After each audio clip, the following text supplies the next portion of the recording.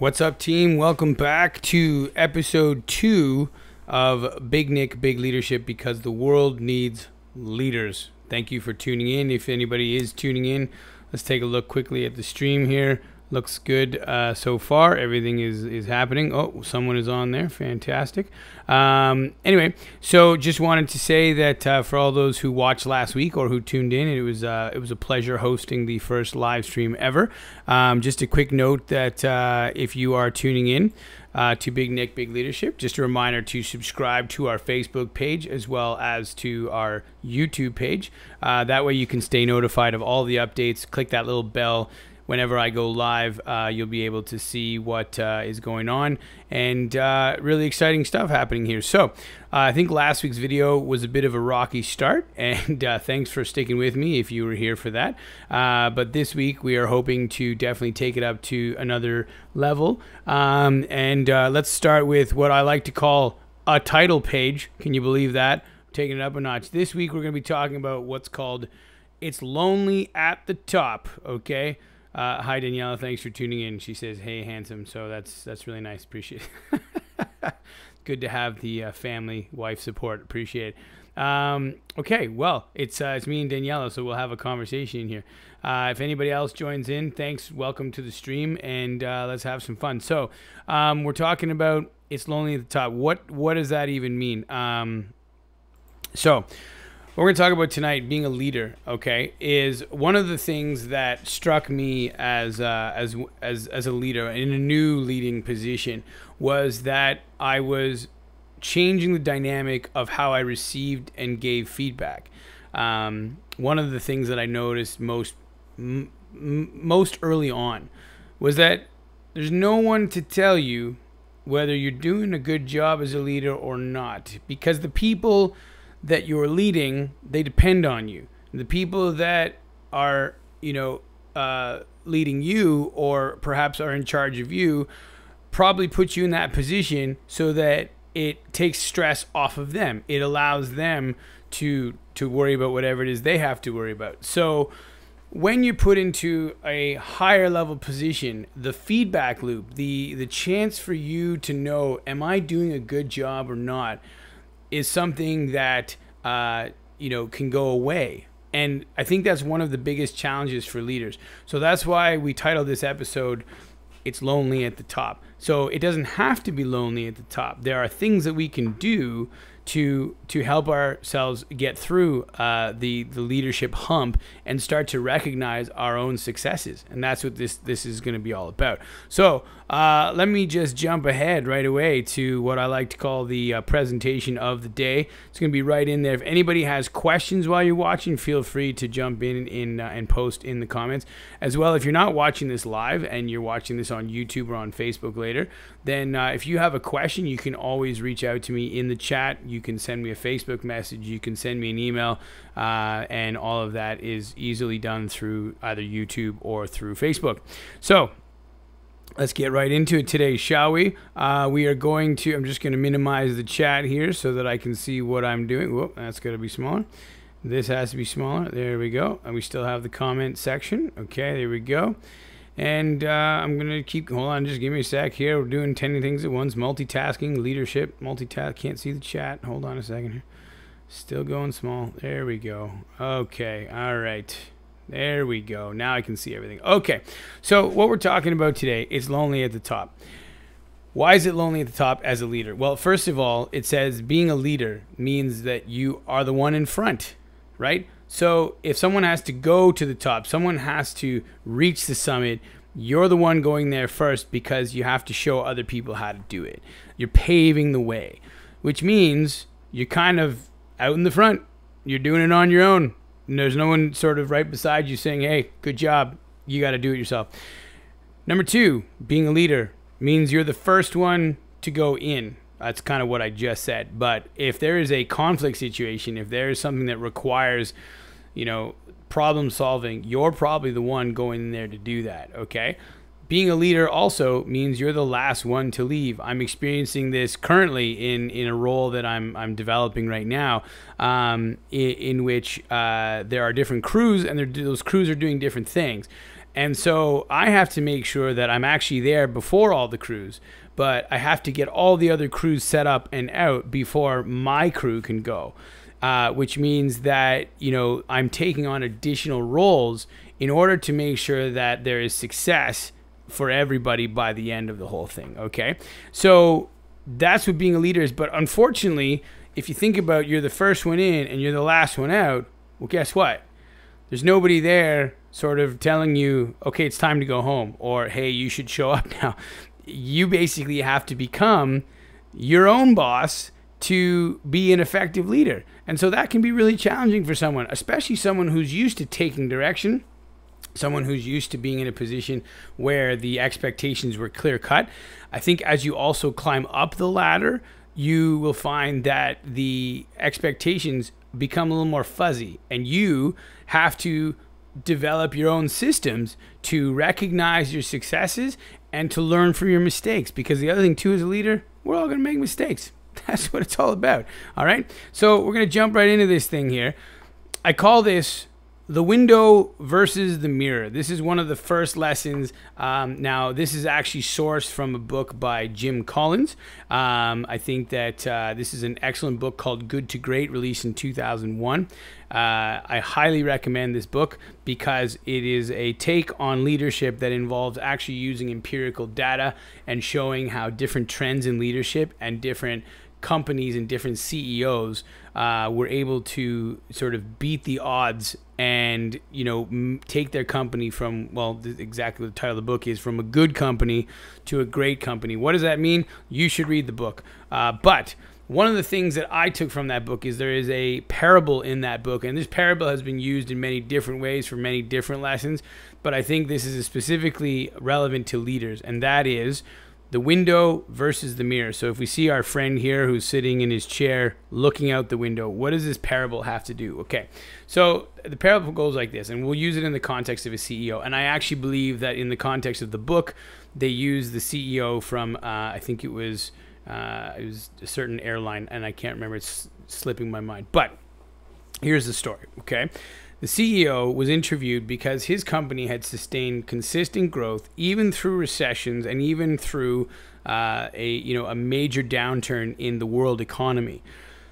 And they asked him, "What is it that you are doing to recognize your success, or what do we, what do you attribute to your success?" And so the CEO in his office, on one side, was a mirror, and on the other side was a window, and basically this he did to remind himself of this exact parable. And the idea is this.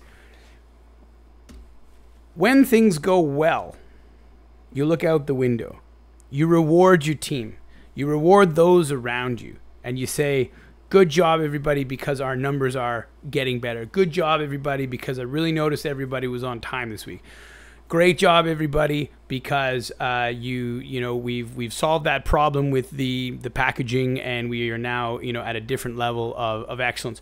So when your company is is doing the right things and the numbers are, are trending in the right direction you look out to reward other people.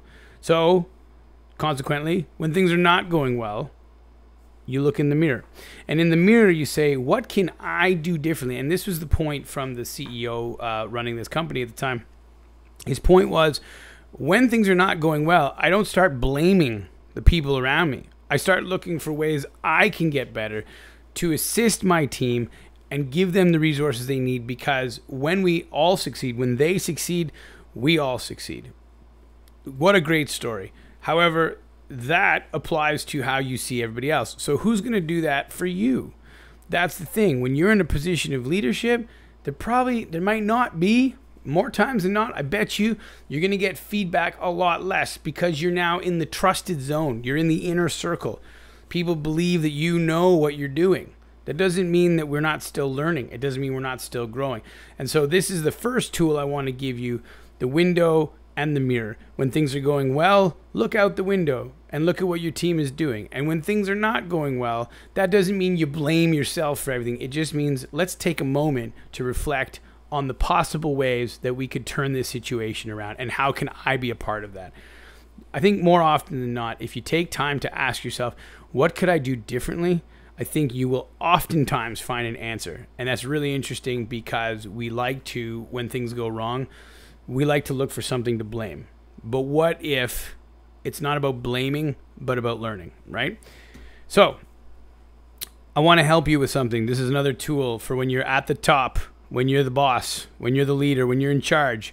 I want to give you a tool for new leaders, and I call this tool the brain dump. Why are we doing the brain dump? Because it creates a feedback loop for yourself. It's so important as a new leader to start learning to say to yourself, how can I do better? Because, like I've said 50 times already, maybe nobody's going to tell you. Okay, so here's the thing the brain dump. Okay, again, this isn't my own invention. This is something I've taken from many leaders. In fact, I think you'll find that most successful people have very successful habits. This is one of the habits that you want to build as a leader to help you stay sharp when you're at the top and nobody's telling you whether or not you're doing a great job. Okay? Brain dump goes like this At the end of your day, before you go home, schedule a time 20 minutes, 10 minutes, 5 minutes. Maybe as you get better at this, could be a 5 minute exercise. At the beginning, I would say give yourself 20 minutes to half an hour. Uh, when I had a team of leaders um, in my previous career, that was one of the main things I stressed. I said, you put this into your personal schedule and you do not miss the brain dump. It's very important. Okay, what is the brain dump? Basically, you take this time to just let whatever's in your head come out. Uh, I suggest writing on a piece of paper. Maybe you want to use your laptop. Maybe you have a tablet. Whatever it is you want to use. But the point is, you need to take what's in here, get it out of here, and put it somewhere so that you can reflect back on it. Okay. A couple guiding points, which you can see in the slide here. What went well today? Taking time to actually say, what went well? What am I grateful for? What successes did I achieve today, or did my team achieve today? Right? Look out the window. Um, because you actually find that even in a rough day, there are probably some things that went really well. So you don't want to go home feeling like, man, that sucked today. That was a rough day. You're going to have those. Everyone does, right? But you still want to go home with a positive attitude. And how do you do that? Get it out of here and get it onto paper where you can action it as soon as possible. Uh, also, what could be improved? I think that's really easy for people to do is is look at what happened and say, oh, how can I make that different? cool, right? Um, but you know, I think that everybody encounters throughout their day parts of their day that they wish would have gone differently. And I think this happens to everybody, right? So, what if you actually could take five minutes and say, what could I have done differently there? Or what lesson did I learn from that? Write it down so that the next time you encounter that situation, or if it's an unresolved matter, you now have the ability to tackle that issue the next time you come into work which is probably tomorrow, right? You know, um, and then the next thing is what needs to be done tomorrow. This was something really important for me. I always felt like I had to get what was in my head onto paper. I started using my smartphone, so uh, using that like list app uh, on your smartphone, I find is very effective during my day. But at the end of my day, I like to take what's there and I like to put it on my to-do list. I like to put it on on something uh, paper. I like to write. I mean, there's lots of people out there who don't like to write. They want to use electronics. Fine, whatever works for you, whatever system is going to work for you, use it, but use it daily. Because the last thing you want is to go home and be stressing about work or going to bed and you can't sleep because the stuff is in your head or waking up the next day and saying, What is it I had to do tomorrow? And then now, or today, and now you've forgotten, right? So, really important. The brain dump is just a tool. You know, maybe you're saying that's, hey, that's pretty straightforward. It sure is, but I can tell you that it's saved me a lot of headaches, okay? Um, goal number one with the brain dump, as it says in the slide here, don't bring work home. So, again, as a leader, you're at the top. No one's telling you whether you're doing a great job or not. You go home and you want to maybe tell the story to your spouse or your significant other or your friends or whatever, and they're going to have a very outside opinion of what's going on. What you are also looking for though is is someone in my organization going to recognize my successes or my failures and again the sad news is as a leader we tend to get trusted, which that's a good thing. But the sad part is when we're trusted in that way, we don't tend to get the same feedback that we did when we were an employee because uh, the employee uh, is learning a lot, you know, and, and is not sort of now in charge of other things. So that level of trust can also mean sort of a level of disengagement from your superiors. Whether you think it's a good thing or you don't think it's a good thing, either way, uh, chances are you're getting less feedback as a manager or as a leader. Um, so, you know, coming home with that worry is something I, I strongly recommend against. You want to get it out of your head, get it on paper before you leave. Okay. Goal number two of the brain dump reward yourself for things that are going well. We don't take enough time to sit down and say, What did I do well today? Because I guarantee you there was stuff that you did well. You just probably got it lost with the rest of the stuff. Okay. Um, and then goal number three is stay honest, stay hungry. That's why you make a to do list. Because when you evaluate what could I have done differently or what could I have done better, you now have a point to grow. You now have something that you can look forward to, right? So that's part of the brain dump is is staying motivated for the next day, okay? So now let's take for a second we we the premise of today's episode is that it's lonely at the top because you're out there and you're doing your own thing. But what you want is to actually bring other people closer to you right? It's not lonely if you know that your team is with you. It's not lonely if you know that you're pulling you're pulling the weight or the the you know, you're pulling the work, but you got people right with you and they would do everything they can to help you. How do you do that? Well, you have to make your expectations clear. That's going to be a whole other show about setting expectations. But today we're going to talk about the feedback loop, gaining influence through communication, okay? I wanted to take a minute because it's lonely at the top and you don't want to push people further away. One of the mistakes we make as a manager, as a leader, is that we use this uh, system that you see on the slide here. We call this system, I call it the poop sandwich. Okay, there are other words for poop, but the point is um, when you are giving feedback to somebody and you lead in with the, the compliment then something constructive in the middle, and then the compliment at the end. This formula, which has been used in all kinds of organizations and is just so formulaic that people will start to tune out to this. Now, does that mean that you shouldn't use this? No, absolutely. Listen, you can't just get in there and rip people apart because that also is not going to work. The the poop sandwich or perhaps you want to call it the sandwich technique or the sandwich coaching technique or the uh, you know whatever. But you notice when you look at the sandwich here, okay, that most of the stuff is in the sandwich. As in the bread is not usually the exciting part. And when you're saying this to somebody, what do you think they are getting from this? Are they hearing the good part and the good part or are they going to listen to the constructive part, right? They're going to listen to what they did wrong. And a lot of times, if you have those veteran employees, they're probably going to be like, just get to the point. So, I want to point out to you that if you want to build influence through communication, you can't just go directly to the to the poop sandwich, okay? And I mean by poop sandwich as in you're going to give them a compliment. Example, "Hey, John, great job today on uh, you know stacking that paper.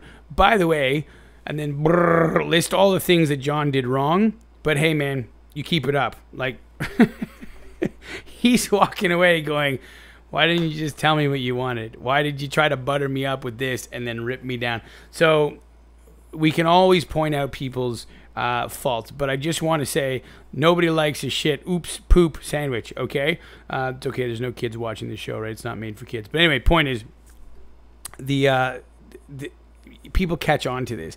If this is the technique that you're using on a regular basis because you're afraid to sell, tell someone the you know the truth um, about their performance, or if you're avoiding confrontation, or if you're using this as a way to just sort of try to keep people on board, um, people see through it pretty quickly. Especially if the compliment and the compliment are kind of disingenuous. They're not really actual compliments. They're more you know you're you're throwing two things on there to try to just sort of squeeze the poop in there. Um, it, it it really doesn't work. People are smarter than that. So as a leader, I'm just gonna say here are some alternatives to the poop sandwich. If you're trying to build influence, if you're trying not to be alone at the top, you're trying to bring people in with you. One of the things I suggest, try this. Okay, number one, all positive feedback. Imagine going to your employee or your uh, coworker or whoever it is you're dealing with, and you say, "Hey, Susie, I really like that report you did. Thanks so much for doing that."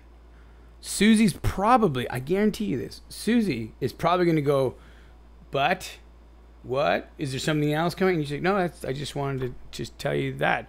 How do you think that's going to make Susie feel? Does that mean you don't have constructive things for Susie? It does not. Maybe Susie needs to work on X, Y, and Z, but what you've done today is you set Susie up here. You made her feel good. And so when you do that, the next time you want to come in and say something, Susie is probably more interested in listening to what you have to say.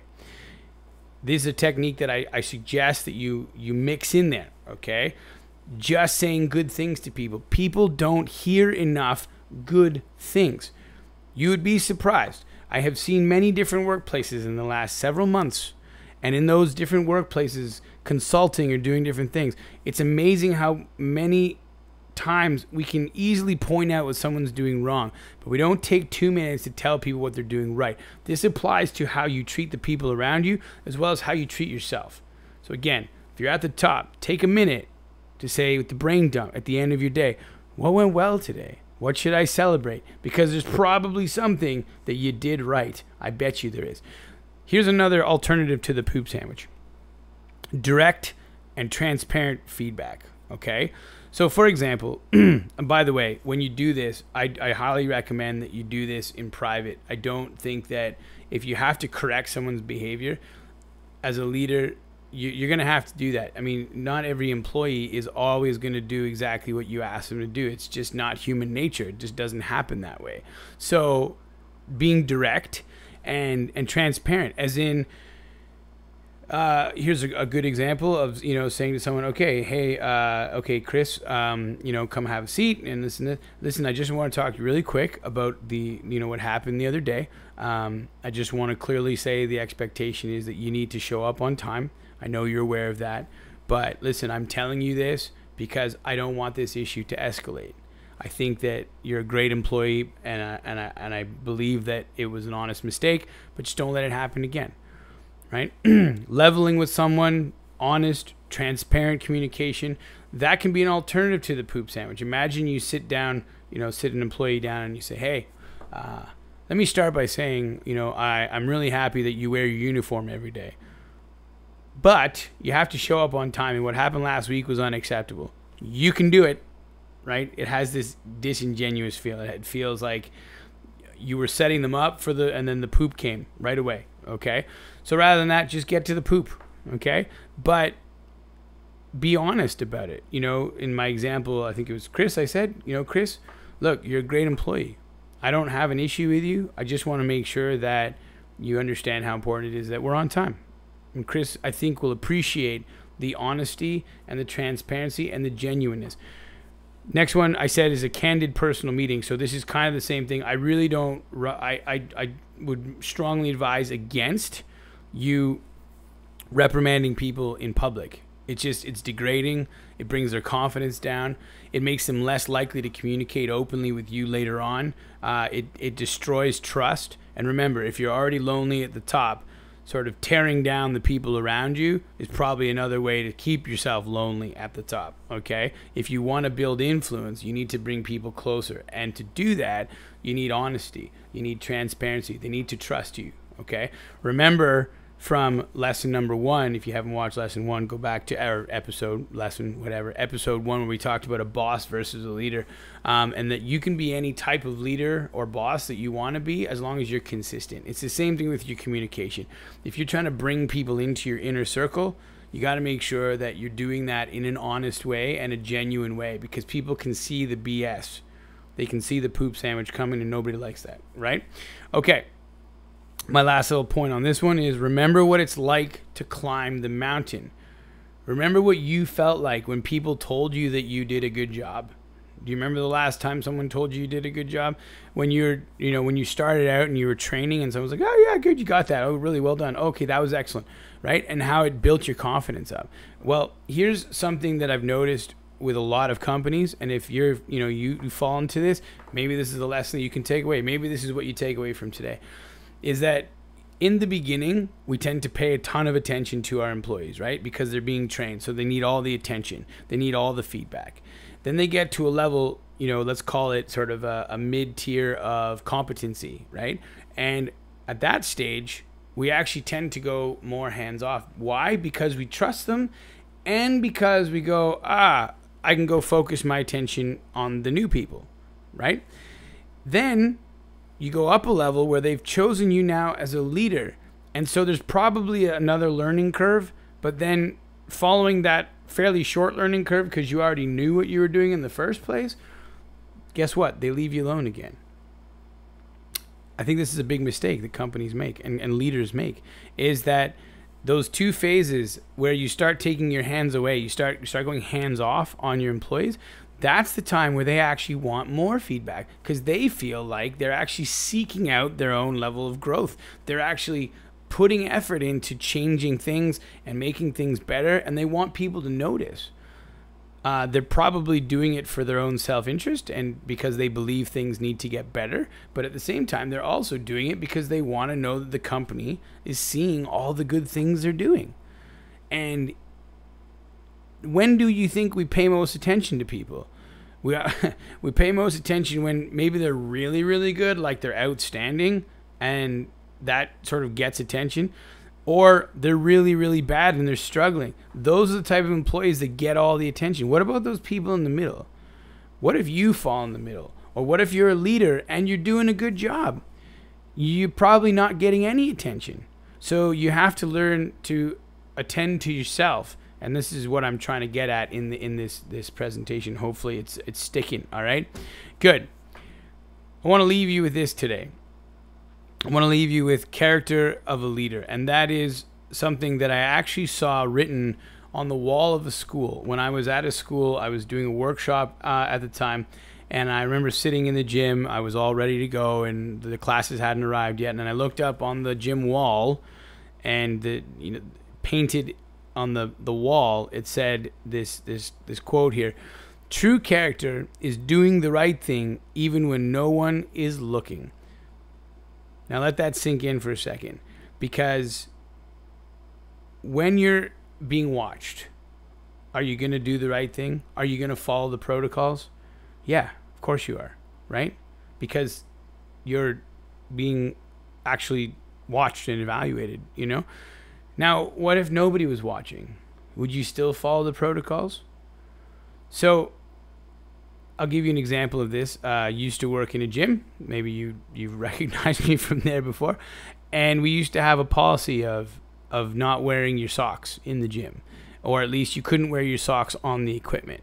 So you could you could see the level of engagement from the employees because there were some that just never wore socks because they just felt, you know what, it's easier just to avoid that whole issue you had the people that would follow the policy, and then you had people that would follow the policy when you were watching them, but when you weren't watching them, they wouldn't follow the policy.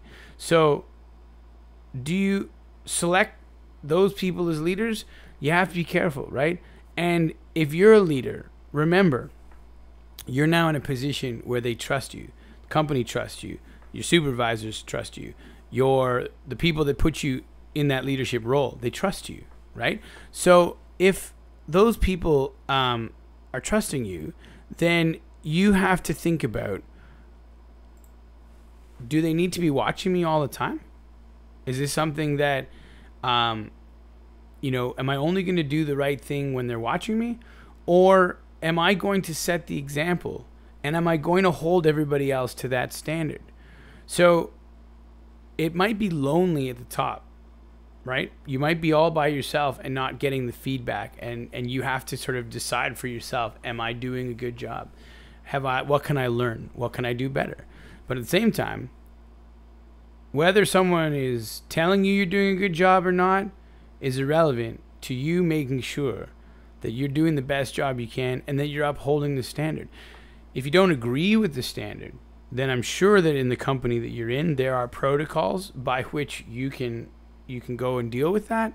Uh, but definitely, as a leader, true character is making sure that when you are being watched equally as when you're not being watched, that you're upholding the highest possible standard, not only for your team, but for the people around you, right? Good. So where are we at? Hey, we're at the 30 minute mark and we've gone up to four people. This is so exciting. So, uh, okay, thanks for joining in uh, today. And uh, let's make this bigger here. Can I see this? Uh, there we go. There it is. Okay, let's see. Take a minute or two. Let's see here. Okay, over in the comments. Does anybody have any questions before we sign this thing off? Because uh, basically that is it. Let's do a quick summary. The summary is that uh, when you're a leader, you tend to get less feedback than you normally would. So it's important for you to set up systems to recognize your own excellence as well as your own lessons and things that you can do better. Also, so that you stop being lonely at the top, you want to make sure that you are using effective communication to pull your team closer and gain additional influence. And you want to avoid the poop sandwich because the poop sandwich is the go-to technique for everybody and let's face it everyone can see a poop sandwich coming a mile away so we suggested some alternatives like just being positive just being clear and transparent having a meeting off to the side um, and there's many other things. So uh, it seems that no one has any questions, so this is good. We are probably going to end it there. Uh, thanks for everyone who tuned in. Really appreciate the support. And remember, everybody, we'll just flash this up one more time. Uh, here it comes. Remember to sign. Whoop, yeah. Remember to subscribe on YouTube and hit that little bell to stay notified of future videos.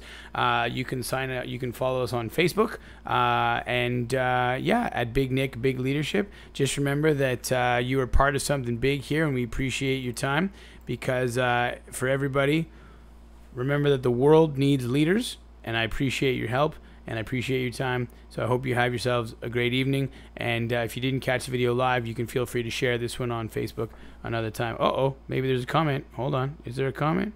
There's, oh, there you go. Hey, Mike, thank you. And uh, thank you, Daniela, for. for supporting me. Woo! Awesome. Okay, guys. Oh, I'm giving those likes. Giving those likes right now. All right. Awesome. Thanks for tuning in, my friends. And that is the end of another episode. We will see you next time for another episode of Big Nick, Big Leadership, because the world needs leaders.